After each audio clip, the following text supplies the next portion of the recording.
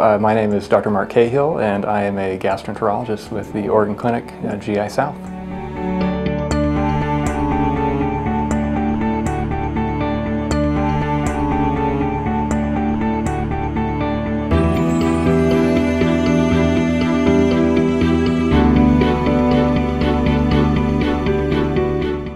I think it was probably late medical school, probably my fourth year, um, and I did a rotation um, at uh, Harborview in Seattle. Uh, did a, a, GI rotation and just actually uh, you know, loved it. I loved all the uh, fellows that I worked with, loved all the attending physicians. Uh, they just seemed like a, a, great group of people. They, they loved their job and, uh, and it was, I, don't know, it was a, a good fit for me.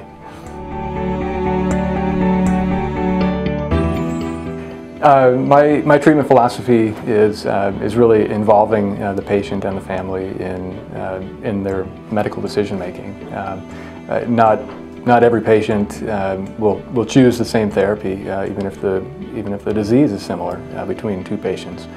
Um, so I, I enjoy trying to, to give all the options to the patient and, and also involve their family in that decision making, especially when there's, there's no real right answer um, in terms of a, a treatment option.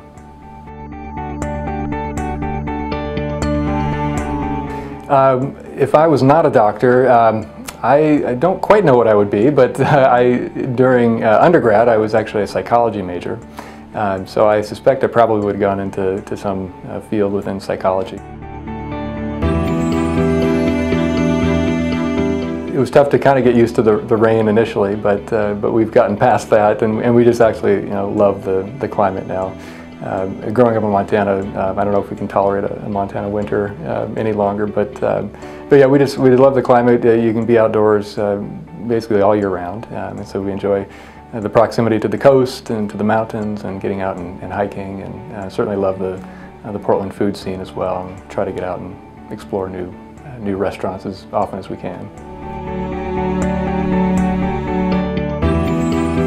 I haven't really formulated one, but uh, but one of the ideas that uh, I've kind of kicked around would be to actually get a pilot's license. Um, uh, our youngest daughter is, uh, is really into airplanes as well, and so we've kind of uh, kicked around the idea of maybe getting her into uh, some flight training when she's a little bit older, and so I might might join her when that when that time comes.